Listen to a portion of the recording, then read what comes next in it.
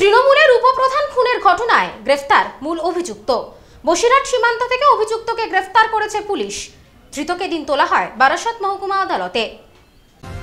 গুমা এক নম্বর পঞ্চায়েতের তৃণমূলের উপপ্রধান বিজন দাস খুনের ঘটনার মূল অভিযুক্ত গৌতম দাসকে গ্রেপ্তার করল পুলিশ। ঘটনার প্রায় পঁচিশ দিনের মাথায় গ্রেপ্তার মূল অভিযুক্ত। পুলিশ জানিয়েছে, অভিযুক্তকে ভারত বাংলাদেশ সীমান্তের বসিরহাটের সীমান্তবর্তী এলাকা থেকে গ্রেপ্তার করা হয়েছে। অভিযুক্তকে এদিন কড়া পাহারায় হাজির করানো হয় বারাসত আদালতে।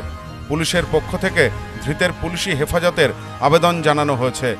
প্রসঙ্গত, গত ফেব্রুয়ারি মাসের পঁচিশ তারিখ রাতে গুমা এক নম্বর পঞ্চায়েতের তৃণমূলের উপপ্রধান বিজন দাসকে গুলি করে খুন করার অভিযোগ ওঠে দুষ্কৃতীদের বিরুদ্ধে। জানা যায়, ঘটনার দিন এলাকায় রাতে একটি বাড়িতে শুয়েছিলেন তিনি।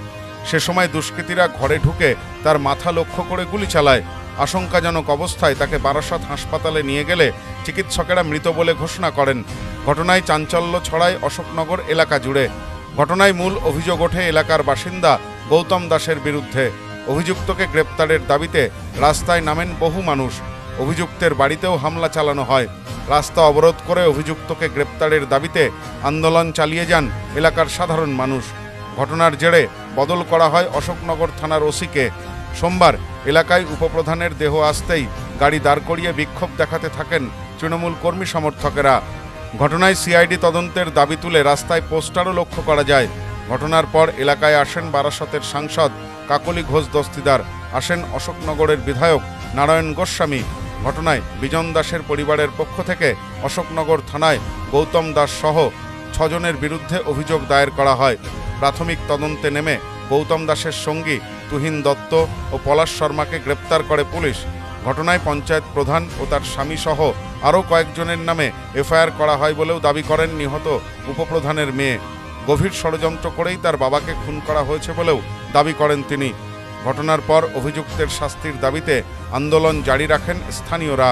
অবশেষে ঘটনার প্রায় পঁচিশ দিন পর গ্রেপ্তার মূল অভিযুক্ত গৌতম দাস।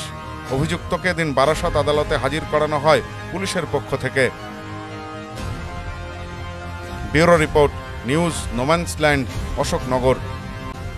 গুমা এক নম্বর পঞ্চায়েতের তৃণমূলের উপপ্রধান বিজন দাস খুনের ঘটনার মূল অভিযুক্ত গৌতম দাসকে গ্রেপ্তার করল পুলিশ। ঘটনার প্রায় পঁচিশ দিনের মাথায় গ্রেপ্তার মূল অভিযুক্ত। পুলিশ জানিয়েছে, অভিযুক্তকে ভারত বাংলাদেশ সীমান্তের বসিরহাটের সীমান্তবর্তী এলাকা থেকে গ্রেপ্তার করা হয়েছে। অভিযুক্তকে এদিন কড়া পাহারায় হাজির করানো হয় বারাসত আদালতে। পুলিশের পক্ষ থেকে ধৃতের পুলিশি হেফাজতের আবেদন জানানো হয়েছে। প্রসঙ্গত, গত ফেব্রুয়ারি মাসের পঁচিশ তারিখ রাতে গুমা এক নম্বর পঞ্চায়েতের তৃণমূলের উপপ্রধান বিজন দাসকে গুলি করে খুন করার অভিযোগ ওঠে দুষ্কৃতীদের বিরুদ্ধে। জানা যায়, ঘটনার দিন এলাকায় রাতে একটি বাড়িতে শুয়েছিলেন তিনি। সে সময় দুষ্কৃতীরা ঘরে ঢুকে তার মাথা লক্ষ্য করে গুলি চালায়। আশঙ্কাজনক অবস্থায় তাকে বারাসত হাসপাতালে নিয়ে গেলে চিকিৎসকেরা মৃত বলে ঘোষণা করেন। ঘটনায় চাঞ্চল্য ছড়ায় অশোকনগর এলাকা জুড়ে। ঘটনায় মূল অভিযোগ ওঠে এলাকার বাসিন্দা গৌতম দাসের বিরুদ্ধে। অভিযুক্তকে গ্রেপ্তারের দাবিতে রাস্তায় নামেন বহু মানুষ।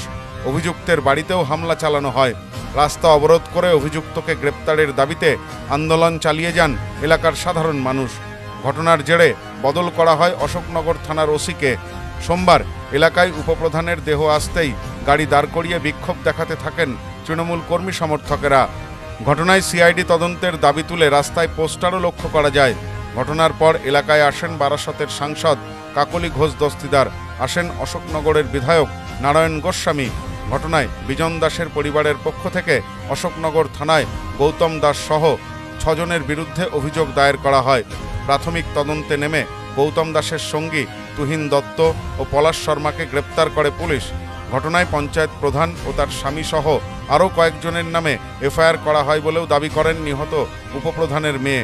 গভীর ষড়যন্ত্র করেই তার বাবাকে খুন করা হয়েছে বলেও দাবি করেন তিনি। ঘটনার পর অভিযুক্তের শাস্তির দাবিতে আন্দোলন জারি রাখেন স্থানীয়রা। অবশেষে ঘটনার প্রায় পঁচিশ দিন পর গ্রেপ্তার মূল অভিযুক্ত গৌতম দাস। অভিযুক্তকে দিন বারাসত আদালতে হাজির করানো হয় পুলিশের পক্ষ থেকে।